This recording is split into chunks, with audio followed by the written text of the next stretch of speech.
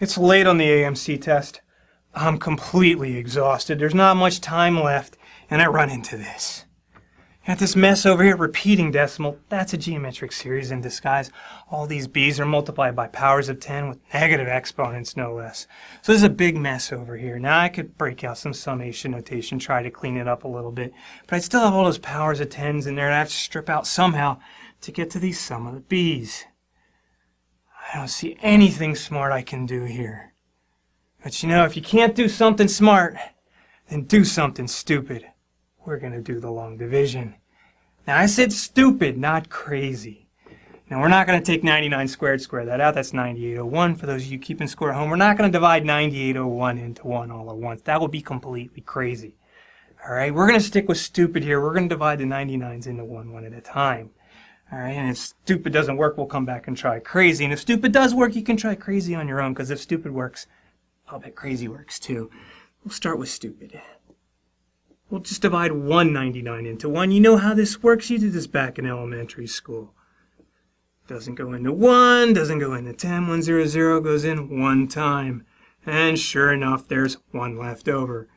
1, 0 doesn't work, goes into 1, 0, 0, one time. I'm just going to go on and on like this. 0, 1, 0, 1, 0, 1. So that's all fine and good. We divide 199 into 1. We get all these zeros and ones. 0, 1, 0, 1, 0, 1. Now here comes the second 99. We're going to divide the second 99 into that string of zeros and ones, we are going to need a lot more space. So we're going to start off with 99. We're going to divide that into 0, 1, 0, 1, 0, 1, 0, 1. And we're going to bring a lot of zeros and ones because we're going to need a lot of zeros and ones. 99 goes into 0, 0 times. Goes still still goes into 0, 0 times. It goes into 1, 0 times. 0.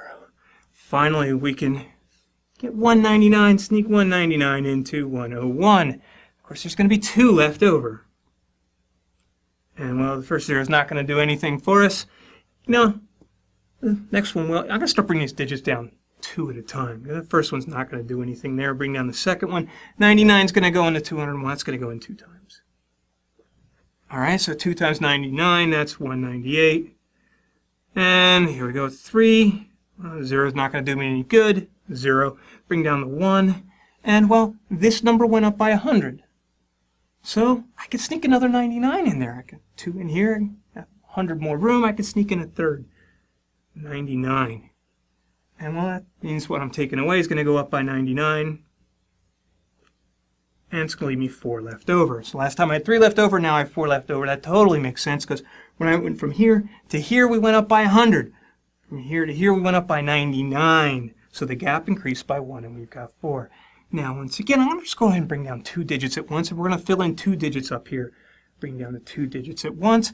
And once again, this is going up by 100, so I can sneak in an extra 99. Before I put in 3, now I can put in 4.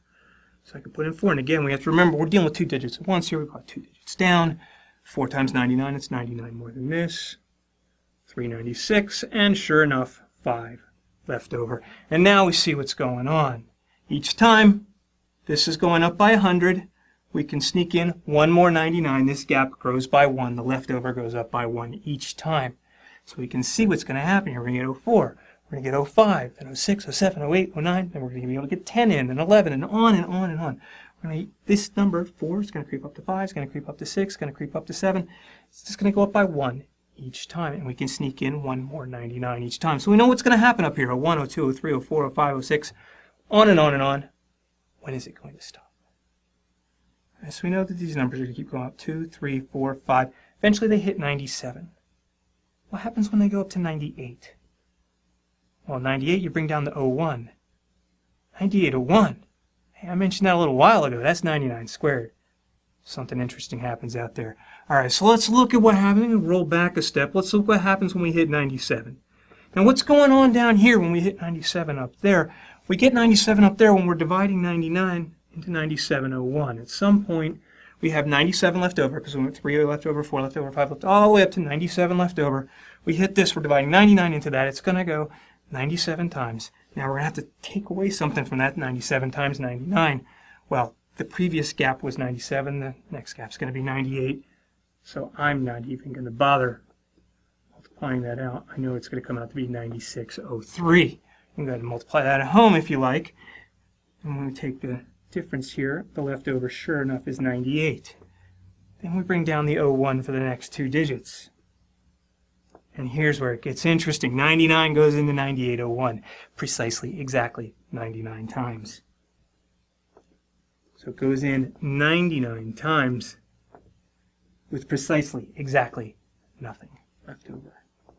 That nothing left over, and then we're going to be bringing down another 01, tells us we are back where we started. It's going to start repeating right now. And we have found the repeating decimal. It's going to go 0, 0, 0, 1, 0, 2, 0, 3, 0, 4, all the way up to 99, except it's going to skip 98. Jump right over 98. And then we're going to start again, 0, 0, 0, 1, on and on and on. So these are the digits we have to sum. The digits we get when we go 0, 0, 0, 1, 0, 2, all the way up to 99, but forget 98. And now we can solve the problem. Now, the way we're going to sum up these digits nice and quickly is we're going to remember 98. We're going to stick 98 in there and then strip it out at the end. Because when we put 98 in there, it gets really easy to add up all the digits because every digit shows up exactly 20 times. It shows up 10 times in the tens place, 10 times in the units place. So now the sum of all these digits is 20 times the sum from 0 up to 9. And then we have to subtract off the 8 and the 9 from our 98. So Sum 0 to 9 is 45. 45 times 20 is 900. 900 minus 17, and I sure hope 883 is on our list. It's right there. It's B, and we are done. You can try crazy at home.